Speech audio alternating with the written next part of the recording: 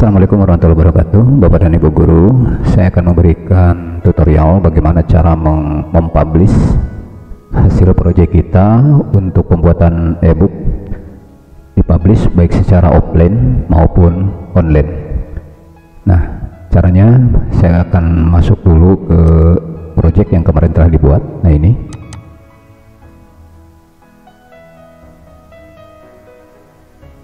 Baik Bapak dan Ibu Guru ini sudah terbuka seperti ini tapi sebelum mempublish saya akan menyampaikan dulu karena kemarin ada uh, peserta yang kesulitan menyisipkan atau mengupload link YouTube ke project kita sehingga tidak terbuka.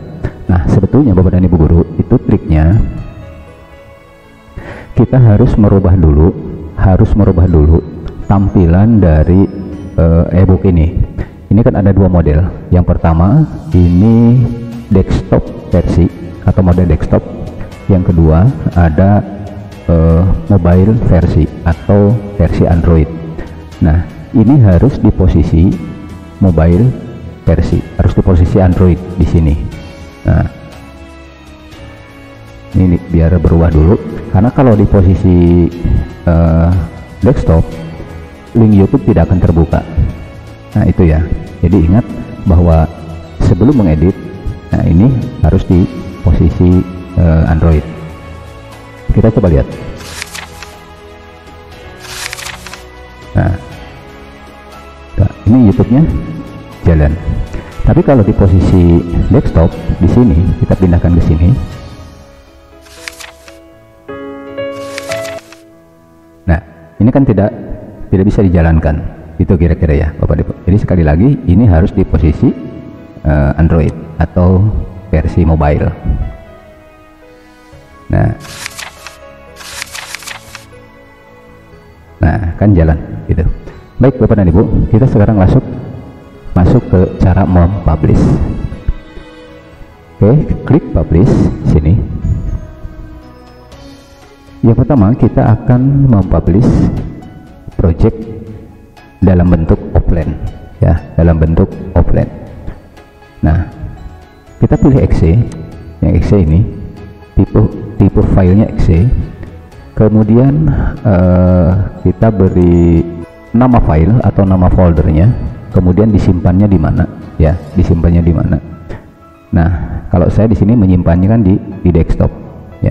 Caranya kalau bapak dan ibu mau nyimpan bisa browse di sini kemudian uh, pilih mau di ini kan D bisa di mana saja ya. Bisa di dokumen misalkan ya. Bisa di download bisa di mana. Tapi saya saya menyimpan tadi di uh, tapi saya menyimpan tadi di, di desktop. Baik. Kalau sudah bapak dan ibu uh, nama filenya sudah captionnya sudah silakan langsung publish eh langsung convert. Oke. Okay. nah karena tadi karena saya sudah pernah uh, mempublish jadi sini ada pertanyaan do you want to forward ya nggak apa-apa. Tapi kalau belum pernah pasti tidak muncul pertanyaan ini. Saya timpa saja. Baik Bapak Ibu ini sudah selesai. Nah kita coba lihat foldernya open folder. Ini Bapak dan Ibu dalam bentuk file berdiri sendiri ya bentuk filenya exe dan ini bisa langsung dibuka karena ini sifatnya offline. Kalau ibu bapak mau membagikan kepada siswa file ini silahkan saja. Tetapi bapak dan ibu ini hanya bisa dibuka di laptop maupun PC ya kira-kira kita coba buka. Nah ini sudah sudah terbuka ya. Tuh sudah terbuka.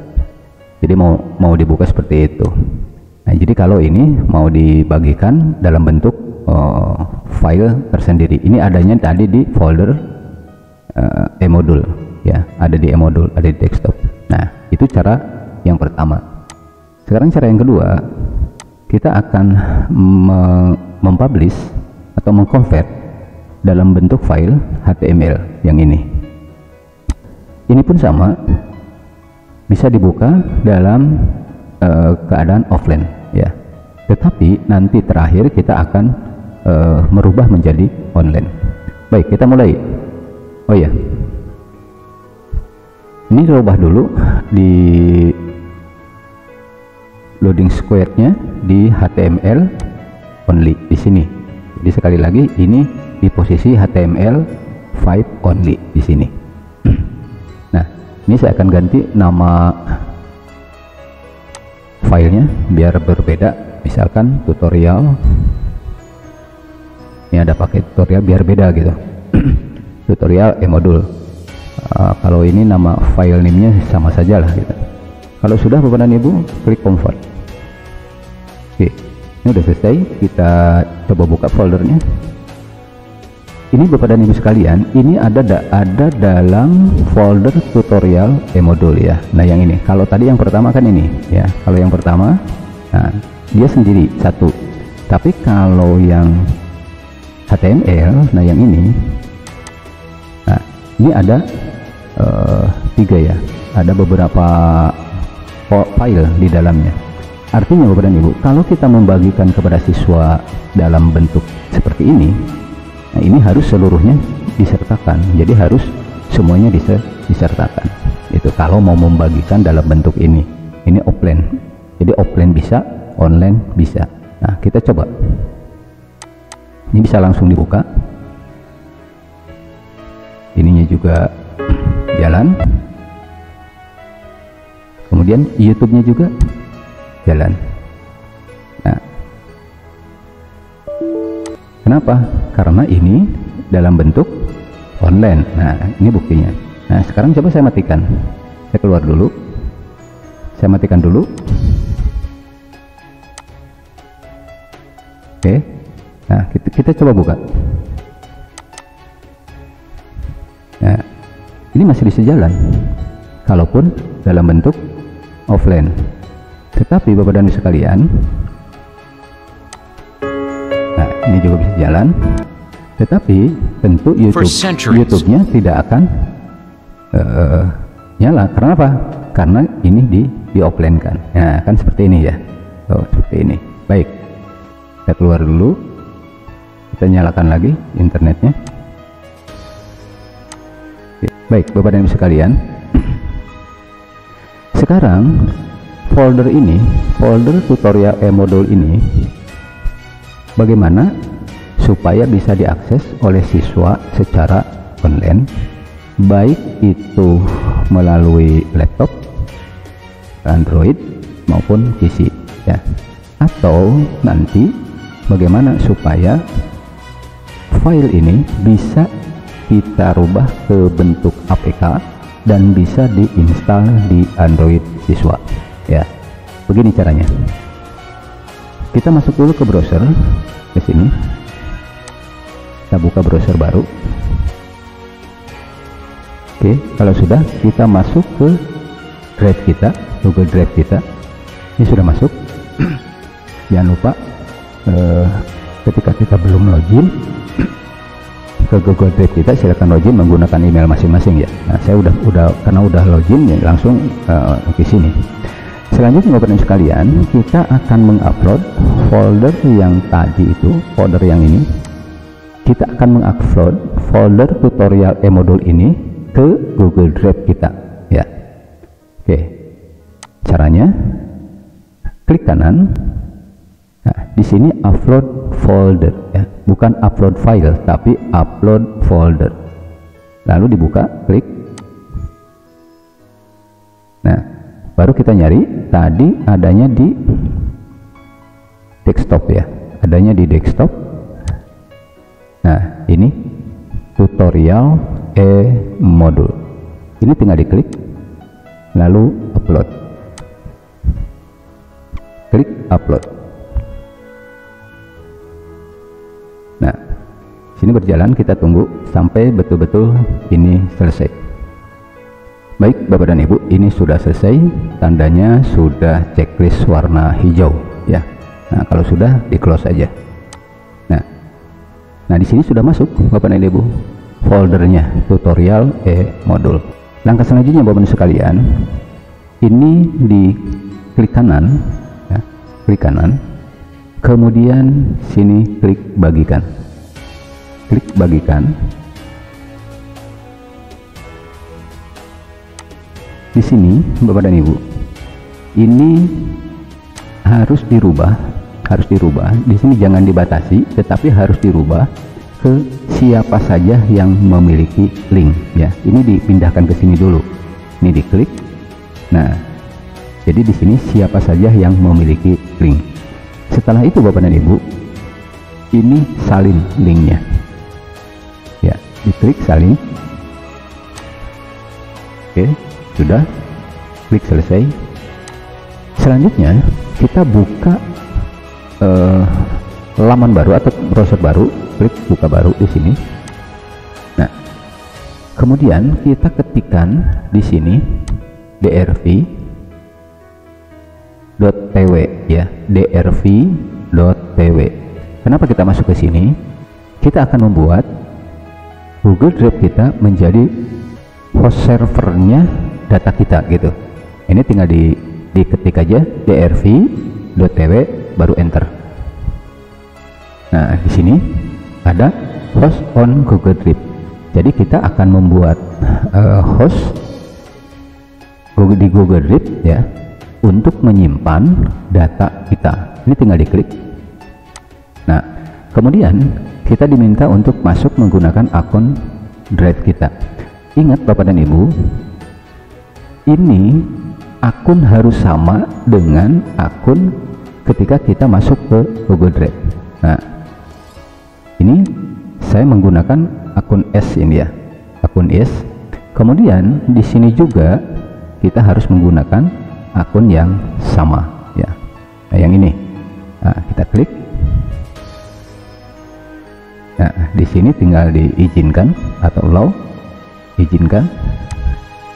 Ini sedang berjalan. Ditunggu saja Bapak dan Ibu. Ini sudah selesai.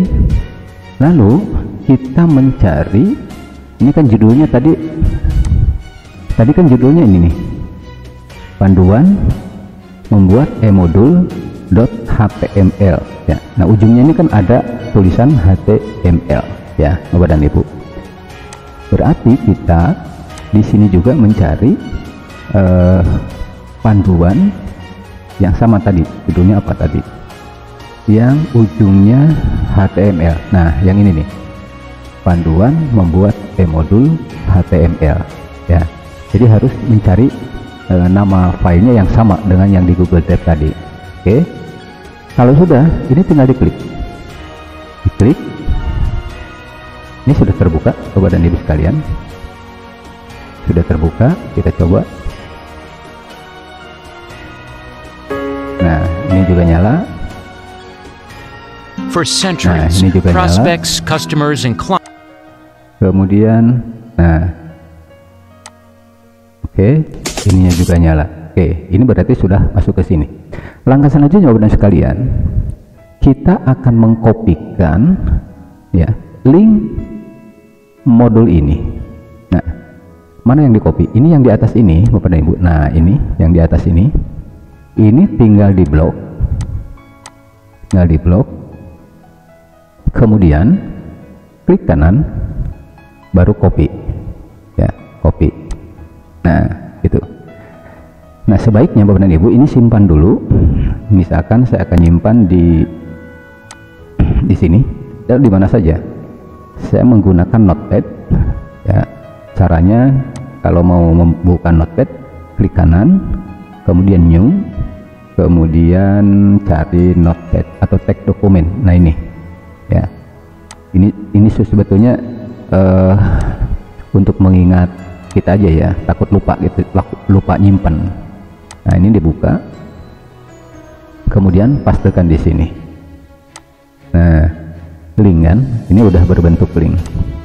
Nah ini bapak dan ibu link ini bisa langsung dibagikan kepada siswa ya. Dan ini bisa diakses melalui handphone ataupun melalui uh, PC atau laptop. Ini link ini ya. Nah itu tetapi bapak dan sekalian ini kan masih terlalu panjang nih masih terlalu panjang. Kalau mau dipendekkan bisa bapak dan ibu. Kalau mau dipendekkan bisa. Kita menggunakan nah ini blok dulu. Ya kita copy lagi. Kita copy lagi. Kalau mau memendekkan link bisa Bapak dan Ibu. Bisa menggunakan uh, memanfaatkan uh, laman gg.gg atau kita bisa menggunakan s.id ya. Kalau saya menggunakan s.id kalau misalkan mau menggunakan gg.gg silahkan. S.id nah di sini kalau misalkan Bapak dan Ibu belum logi apa belum daftar silahkan mendaftar. Tapi kalau sudah daftar ya tinggal langsung login saja ya gitu kalau saya sudah daftar jadi tinggal masuk saja. Baik di sini sudah masuk di dashboard eh, di home-nya s.id nah link tadi yang panjang tadi Bapak dan Ibu link yang panjang ini ini kita copy ya. Ini kita kopikan kalau Bapak dan Ibu misalkan nggak mau repot untuk memendekkan ini bisa langsung sudah dibagikan kepada siswa ya bisa. Tapi kalau saya saya akan pendekkan dulu supaya tidak terlalu panjang seperti ini. Ini di copy lalu tempelkan di sini ya. Nah tempelkan di sini atau di paste lah di sini. Klik kanan baru paste. Nah ini sudah berjalan. Nah ini sudah pendek. Jadi s.id yt2yr ini nama ini Bapak dan Ibu bisa diganti gitu. Nah saya coba ganti tinggal klik ganti. Nah ganti misalkan dengan panduan e modul. Mau dikasih nama ibu sendiri juga apa-apalah di sini silahkan nah kalau sudah langsung klik centang ini. Nah ini sudah pendek ya. Klik OK nah jadi SID slash panduan e modul. Nah ini tinggal disalin saja ya. Ini tinggal disalin klik salin. Klik OK kemudian pastikan di tempat tadi ya biar ber, biar inilah gitu di sini aja biar gampang nyarinya. Nah jadi ngebuka link yang panjang ini bisa membuka yang pendek juga bisa. Kita coba kita coba copy kita bukakan di link. Oke. Kita pastikan di sini. Kita enter. Nah kan langsung ngebuka. Jadi mau panjang silahkan yang pendek juga silahkan. Nah ini sudah bisa. Nah inilah link ini Bapak dan Ibu. Link ini yang uh, dikirimkan ya yang dikirimkan di Google Classroom sebagai tugas Bapak dan Ibu ya.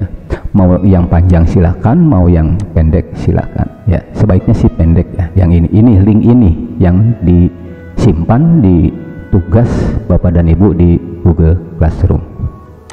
Kalau Bapak dan Ibu mau membagikan langsung kepada siswa ini ya silakan bisa saja ya. Baik yang panjang maupun yang sudah dipendekkan. Nah karena ini sudah bisa diakses oleh siswa melalui Android. Nah kita coba ya. Ini di copy saya akan coba bagikan atau di saya simpan dulu di sini. Saya simpan saya kirim melalui WA misalkan. Nah saya kirim. Saya coba buka uh, di WA tadi ya. Di WA di sini nah saya coba buka. Nah ini udah muncul kan linknya. Nah ini tinggal dibuka. Oke ini sudah apa terbuka. Nah sudah terbuka. Oke nah. ini juga jalan. Oke nah ini juga jalan. Oke kemudian yang ininya. Nah ininya juga jalan. Kemudian ininya oke okay, jalan juga. Kemudian nah YouTube nya juga masuk. Nah, masuk ya. Nah di sini kan halamannya muncul yang kita buat. Nah kita kan langsung ke penugasan di belakang klik penugasan. Nah, ini otomatis sudah masuk ke sini ya ini kalau kita bagikan secara langsung dalam bentuk linknya. Baik Bapak dan sekalian sekarang selanjutnya terakhir kita akan merubah akan merubah link ini menjadi eh, aplikasi dalam bentuk APK sehingga bisa diinstal di Android siswa. Caranya bagaimana? Baik Bapak dan Ibu sekalian caranya kita buka yang namanya APK to Builder atau aplikasi to APK Builder Pro 4.1 Portable. Kenapa saya sarankan portable? Karena ini lebih le, apa ya, tidak harus uh, disibukkan dengan antivirus ya. Jadi saya sarankan gunakan yang ini. Ini dibuka. Kemudian ini kan tidak harus mematikan antivirus, internet tidak usah, langsung saja. Kemudian kita buka. Sudah terbuka seperti ini Bapak dan Ibu. Kita akan memasukkan uh, link tadi di sini. Nah yang pertama kita berikan dulu judulnya. Di sini app titelnya apa? Misalkan panduan e-book terserah namanya apa yang lain-lain tidak perlu dirubah. Kemudian ininya Bapak dan Ibu di sini ada lokal HTML website. Kalau kemarin saya menggunakan lokal HTML uh, eh, yang website ternyata berat ya sehingga untuk membukanya lama. Jadi kita menggunakan yang ini web URL ya. Jadi jangan menggunakan lokal ini tapi gunakan yang nah, di checklist yang web URL oke checklist sudah. Kemudian kita langsung ke bawah. Nah output direktorinya kita mau menyimpan di mana? Ya output direktorinya di sini saya menyimpannya di desktop. Terserah bapak nanti mau di mana. Kalau mau dirubah tinggal klik ceng oke sudah. Lalu kita tinggal masukkan di sini URL nya ya URL nya nah URL dari mana? Yang tadi kita pendekkan tadi. Nah ini. Ya yang telah kita pendekkan tadi ada https id panduan e-modul nah ini di copy. Klik kanan copy.